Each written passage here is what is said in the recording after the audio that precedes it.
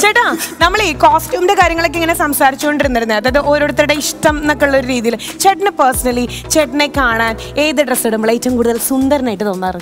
എനിക്ക് ഏറ്റവും കൂടുതൽ ഇഷ്ടം ഡ്രസ് ഇടുമ്പോഴാണ്.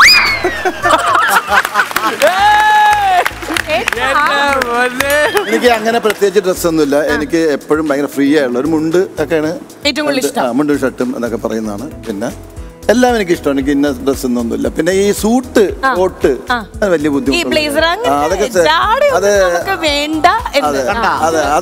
ലക്ഷ്മി എന്നെ പോലെ തന്നെ. സിമ്പിൾ ഡ്രസ് ധരിക്കാനാണ് ചേട്ടന് ഇഷ്ടം. കോട്ടൊക്കെ ഭയങ്കര അലർജിയാണ്. കോട്ട് ഉടുക്കുക എന്ന് പറഞ്ഞാലും ഷൂ ഇടുക എന്ന് പറഞ്ഞാലും ഒക്കെ ഭയങ്കര അതൊക്കെ വലിയ ബുദ്ധിമുട്ടുള്ള അദ്ദേഹത്തിനും കാര്യമാണ്. അങ്ങനെയാണ്. ആ കോട്ട് വായിടുന്നത് കോട്ട് വായിടാൻ ഏറ്റവും കൂടുതൽ ഇഷ്ടം. അത് കോട്ട് അത് ഇഷ്ടമല്ല, കോട്ട് വായിടുന്നത് ഉറക്കില്ലാത്തോണ്ടാ. ഇഷ്ടമല്ല. അത് ഉറക്കില്ലാത്തോണ്ടാ കോട്ട് വായിട്ട് അതല്ലേ. എന്തായാലും ഈ കോസ്റ്റ്യൂം ഓരോരുത്തർക്ക് ഇഷ്ടപ്പെട്ട ഡ്രസ്സിന്റെ കാര്യങ്ങളൊക്കെ പറഞ്ഞ സമയത്ത് നമ്മൾ കുറച്ച് വർഷങ്ങൾ ഇങ്ങനെ പിന്നോട്ട് പോവാണെങ്കിൽ വളരെ പ്രസിദ്ധനായിരുന്ന ഒരു തയ്യൽക്കാരനായിരുന്ന ഒരു കഥ ചേട്ടന് പറയാനുണ്ടായിരുന്നു അല്ലേ? തിളക്കം സിനിമയിലെ? ആ തിളക്കം. അപ്പോ ആ പറയൂ. അത് ജയരാജ് സാറ് ഡയറക്ട് ചെയ്ത പടമാണ്. ആ. ഡിഫറെന്റ് സബ്ജക്റ്റുകൾ ചെയ്യുന്ന ഒരാളാണല്ലോ.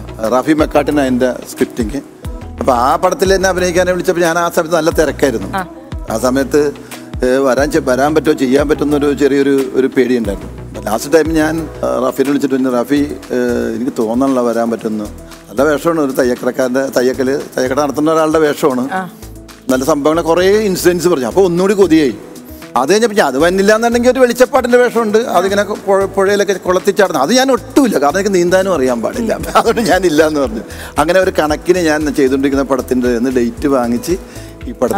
പക്ഷെ അത് ഗംഭീര വിജയമായിരുന്നു ആ പടം. അത് പാട്ട് അതിന്റെ ഒരു ഭാഗമാകാൻ കഴിഞ്ഞതിൽ തന്നെ ഈശ്വരൻ അനുഗ്രഹം റാഫിയൊക്കെ ഭയങ്കരമായിട്ട് പണിയെടുത്തു. പക്ഷെ നമ്മൾ അശ്വൻ ചേട്ടന്റെ ഇപ്പോഴത്തെ ഫിഗർ ഏത് ഫിഗർ എന്ന് അറിയാമോ? സാധാരണ അശ്വൻ ചേട്ടന്റെ എല്ലാ പടങ്ങളും നല്ല ക്യൂട്ട് താടിയാണ് അല്ലേ? നല്ല നല്ല ഇത് ഇതെന്ന് പറഞ്ഞാൽ നമ്മളെ ഗോഡ് ഫാദറിൽ ആ കോളാമ്പി വെച്ച് നമ്മളെ സാറിന്റെ അടുത്തിരുന്നപ്പോ ഇത് സെയിം താടിയായിരുന്നു നിങ്ങളുടെ ഇത്രയും നീളമുള്ള താടിയായിരുന്നു.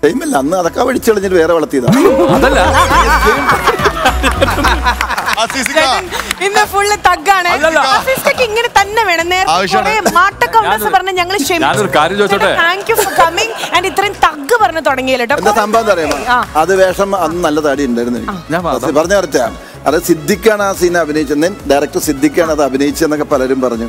ഞാൻ ആ സമയത്ത് ഓടിയ പടത്തിൽ ഒരു സീൻ ചെയ്താലും മതി നമ്മൾ ശ്രദ്ധിക്കപ്പെടും അതൊന്നും ഞാൻ പ്രൂവ് ചെയ്യാൻ പെട്ട പാട്. പ്രോഗ്രാമിനൊക്കെ പോകുമ്പോൾ ഞാനാണ് ആ പടത്തിൽ അഭിനയിച്ചതെന്നൊക്കെ പറയാ പലരോട്. സ്റ്റേജിലല്ല. അങ്ങനെ കുറേ നമ്മൾ കഷ്ടപ്പെട്ടു. പിന്നീട് പിന്നീട് അത് മനസ്സിലായി. നമ്മൾ അതൊക്കെ കയറി വന്നപ്പോൾ അത് നിങ്ങളല്ലേ എന്ന് ചോദിച്ചു തുടങ്ങിയപ്പോൾ സമാധാനം. അംഗീകാരങ്ങൾ കിട്ടി തുടങ്ങുമ്പോഴേ ആ ഒരു ആർട്ടിസ്റ്റിന് ഉണ്ടാവുന്ന ഒരു സന്തോഷം.